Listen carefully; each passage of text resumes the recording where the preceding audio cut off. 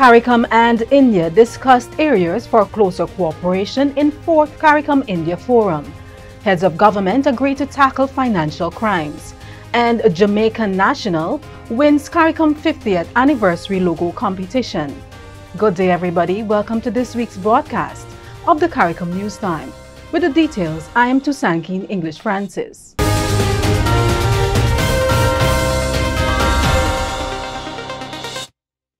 CARICOM and India have agreed to work closer in areas including small and medium-sized enterprises, agriculture, technology, energy, health, and financing for development.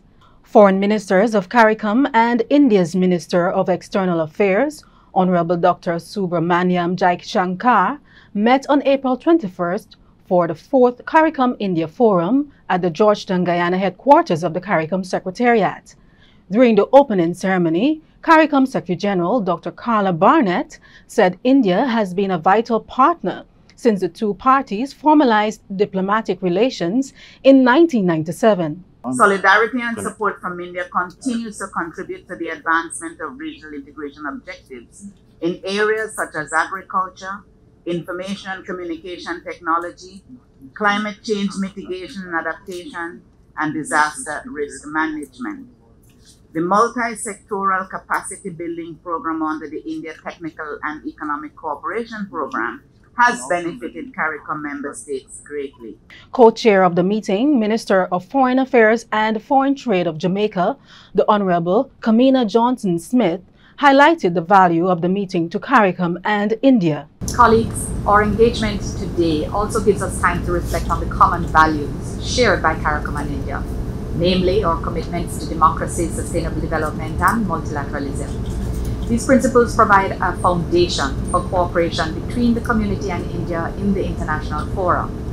We share a firm understanding that traditional development financing frameworks do not meet all the needs of the developing South, and that climate change presents an existential, an existential threat to our societies, acknowledging the realities of a global crisis where small island and low-lying coastal developing states are paying the price for the advancement of developed states. Dr. Jaishankar told the meeting that among the areas in which India stands ready to assist CARICOM are low-cost generics, technology, and human resource capacity.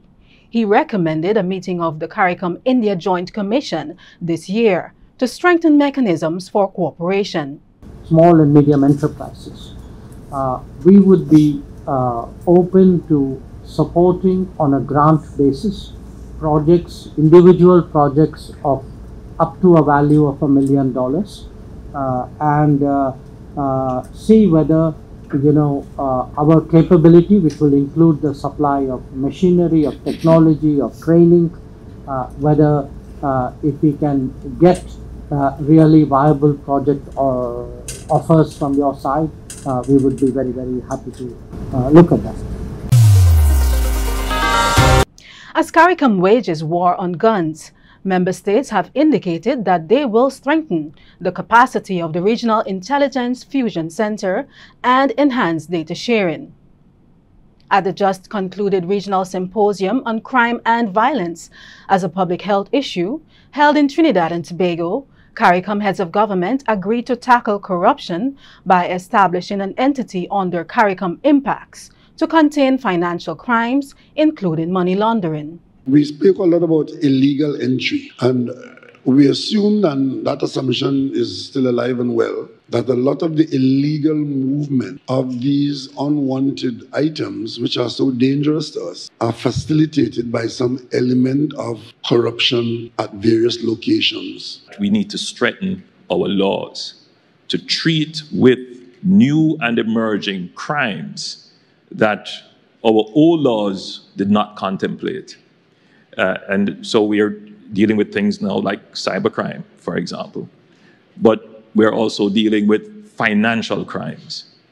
And uh, we're also now dealing with a new type of criminal activity, the organized criminal activity, whose deliberate and sole purpose is a business model designed to weaken the state to create space in which they can carry out their illicit activities. And in fact, that is one of the root causes of corruption.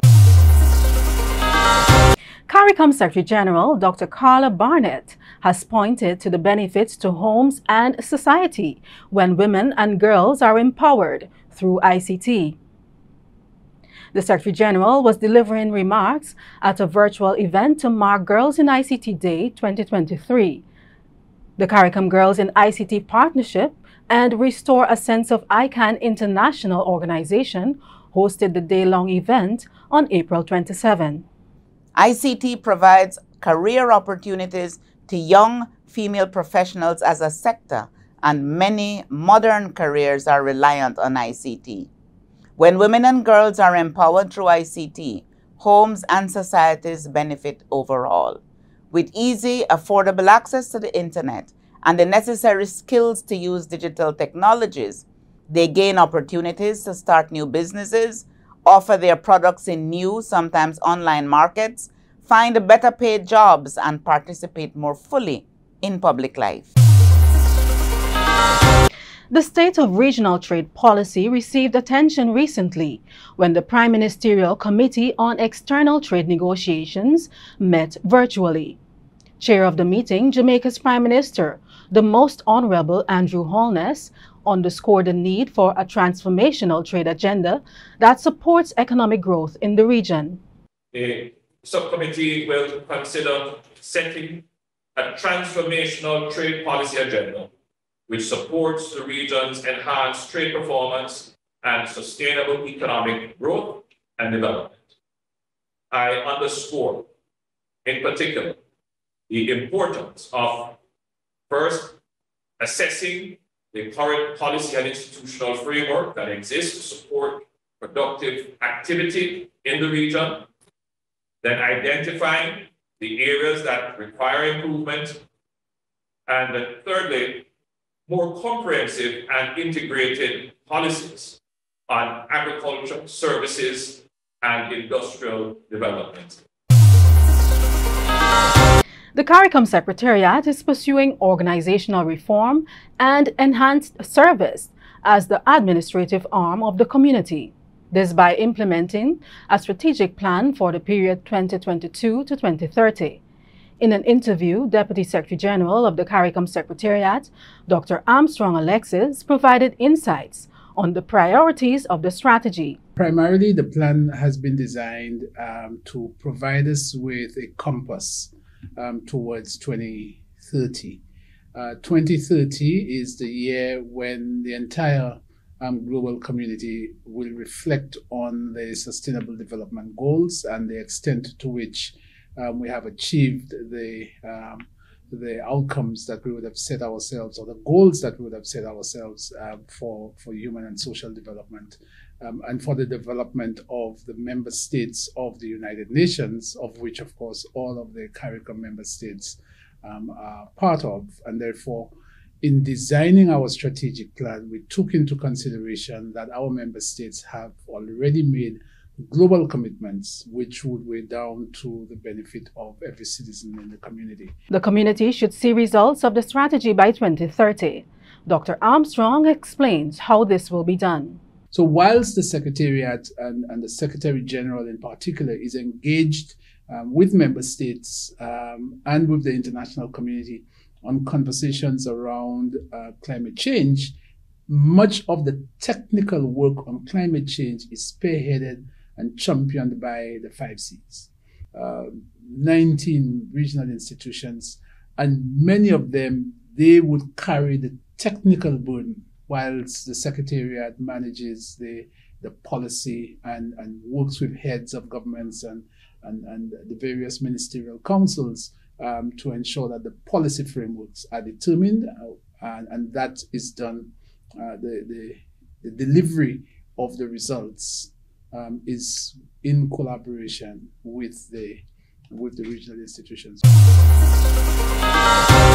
Jamaican creative Andre Bartley is elated that his artwork emerged as the winning entry in the logo competition for CARICOM's 50th anniversary. In addition to a monetary prize, Bartley's logo design will brand all communication products and events to mark the anniversary. Bartley told the communications unit that he received the news when he was searching his emails for responses to job applications. So, looking for a job, applying for jobs and such. So I went to check my email just to um, see if any responses there. Then I saw this um, congratulations um, from the CARICOM thing. So I was like, okay.